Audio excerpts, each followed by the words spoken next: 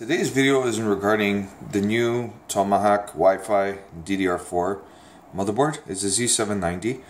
I'm going to be upgrading uh, my PC from the i9 11 gen to the i9 uh, 13 gen, 13900K. So I opted for the Z790 motherboard because of course you're not able to use a Z590 board. You need to get at least Z790. Apparently they're saying that you could use a Z690 the only issue with that is, is that you need to upgrade your BIOS. So if you don't upgrade your BIOS and if it doesn't support your old Z690 board, then the 1300K is not going to work. Uh, so right there on the box, it actually tells you uh, chipset Z790 supports 13th generation.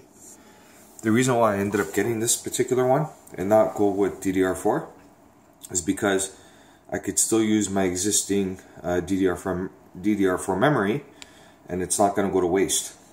As DDR4 is probably more stable memory anyways so that's why I figured to opt out for this option. So my 13900K should arrive in a day or two.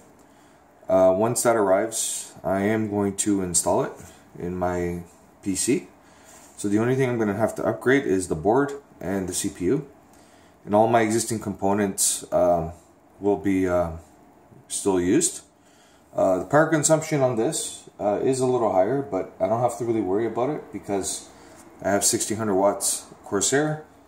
Uh, power consumption, the TDP, TDP rating on a 1300K is 253 watts just for the CPU. So anyways guys, I just figured let you know that uh, this option here is still available for people that want to continue to use their DDR4 memory uh, and also it's got the PCIe 5 slot which you could use it as a the 4090 could easily be used in this board. And, and, and take advantage of also the bandwidth which matters because a lot of people are probably putting in 4090s on the PCIe 4 slot which reduces the bandwidth and you're not getting the true performance of uh, the 4090 anyways guys uh, hopefully you guys enjoyed the video. Um, in a few days I will let you know how things go but the 13900K will be in my system and it should be a powerhouse. And uh, as well, I was reading about all the benchmarks. It beats the Ryzen 9 7950X CPU. Uh, basically, blows all the CPUs out of the water. Very, very good CPU. Anyways, guys, have a good day and take care.